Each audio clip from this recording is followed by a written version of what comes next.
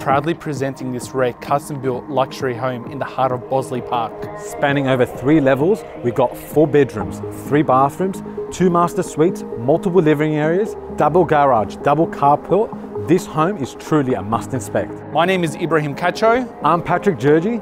And this is Two Manna Place in Bossley Park. Come check it out. In my eyes